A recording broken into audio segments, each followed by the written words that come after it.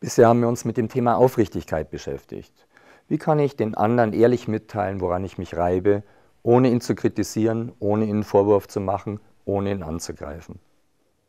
Zu einem sinnvollen Gespräch gehört natürlich auch, dass ich bereit bin, meine Aufmerksamkeit auf den anderen zu richten und versuche zu verstehen und zu erfassen, wo drückt den anderen Schuh, was braucht denn der andere. Das ist die Kunst des Zuhörens. Beim Zuhören in der gewaltfreien Kommunikation unterscheiden wir vier Arten, wie wir etwas aufnehmen, wie wir etwas verstehen können.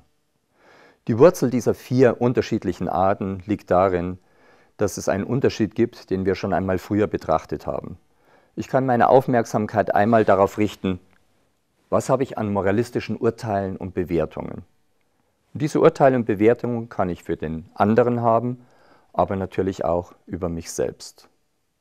Die zweite Art, meine Aufmerksamkeit auszurichten, indem ich meine Aufmerksamkeit auf Werte, Bedürfnisse, Anliegen richte. Und auch hier gibt es natürlich den Unterschied, einmal zu erfassen, was sind die Werte und Bedürfnisse meines Gegenübers und was sind meine eigenen Werte und Bedürfnisse. Daraus ergeben sich vier Arten, wie wir etwas hören können. Und diese vier unterschiedlichen Arten schauen wir uns jetzt einmal genauer an. Wenn wir andere mit Schuldohren außen hören, dann bedeutet das, unsere Aufmerksamkeit ist darauf gerichtet, mit dem anderen stimmt etwas nicht. Jetzt denke ich, mit dem ist was verkehrt, der sollte anders sein, als er ist. Woher ich das weiß? Sonst würde er doch sowas nicht sagen oder tun.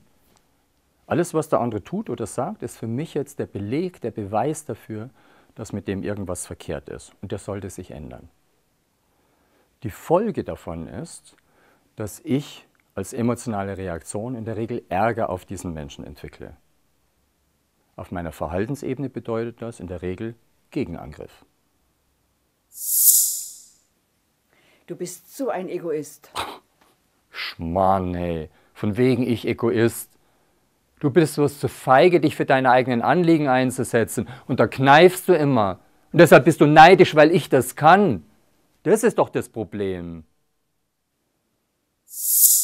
In diesem Fall denke ich also, der andere ist schuld und er sollte sich ändern. Wenn ich mit Schuldohren innen höre, dann bedeutet das, dass meine Aufmerksamkeit ebenfalls auf moralistischen Urteilen und Bewertungen liegt, diesmal allerdings nicht über den anderen, sondern über mich selbst. Jetzt denke ich, mit mir ist was verkehrt. Ich sollte anders sein, als ich bin. Woher ich das weiß, sonst würde doch der andere sowas nicht sagen oder tun. Alles, was der andere tut oder sagt, ist für mich jetzt der Beleg dafür, mit mir ist etwas verkehrt, ich sollte anders sein, als ich bin. Meine emotionale Reaktion, wenn ich so denke, ist, ich fühle mich schuldig, ich schäme mich, bekomme ein schlechtes Gewissen oder ich fange an, mich deprimiert zu fühlen. Auf der Ebene meines Verhaltens bedeutet das meist, dass ich jetzt anfange, Gründe anzuführen, warum alles kam, wie es kam, mich zu entschuldigen, mich zu rechtfertigen, alles zu erklären. Du bist so ein Egoist. Oh, echt? Habe ich mich wahrscheinlich zu weit aus dem Fenster gelehnt, gell? Oh Mann, hey, das passiert mir immer wieder. Ich weiß, du hast vollkommen recht, das war sehr selbstsüchtig von mir. Aber wahrscheinlich habe ich das von meinem Vater. Der war auch so. Ja, ich weiß, das ist keine Entschuldigung. Aber weißt du, ich habe heute einen wahnsinnig schweren Tag gehabt, das wird es sein. Hier gebe ich also dem anderen prinzipiell recht. Ich glaube, mit mir ist was verkehrt und deshalb führt es zur Erklärung, Erläuterung, wie alles so kam. Wenden wir uns der dritten Art zu, wie wir etwas hören können, das ist mit Verständnisohren außen. Hier ist meine Aufmerksamkeit auf Werten, Bedürfnissen, Anliegen. Und bei Verständnisohren außen geht es um die Bedürfnisse, die Anliegen meines Gegenüber. Hier denke ich darüber nach, was fühlt und braucht der andere.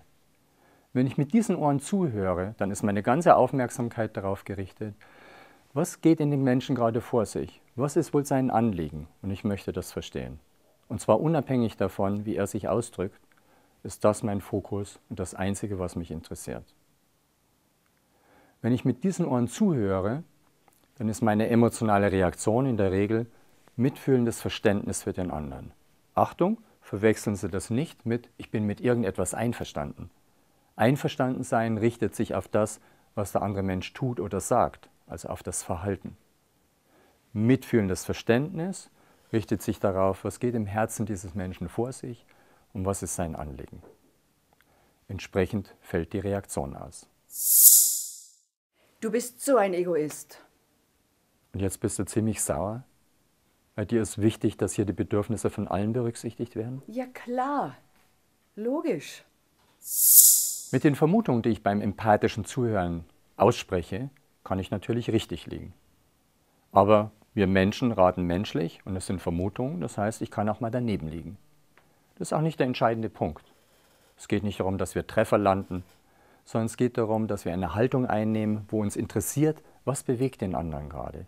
Wenn der andere mir vertraut, dass ich ernsthaft interessiert bin, zu verstehen, wo ihn der Schuh drückt, wie es ihm geht, was er braucht, dann korrigiert er mich in diesem Fall. Dann bekomme ich mehr Informationen, die mir Hinweise geben, was ist wirklich das Bedürfnis, das Anliegen, was der andere gerade hat. Achten Sie darauf, wenn Sie Ihre empathischen Vermutungen aussprechen, dass die Vermutungen auch als solche gekennzeichnet sind.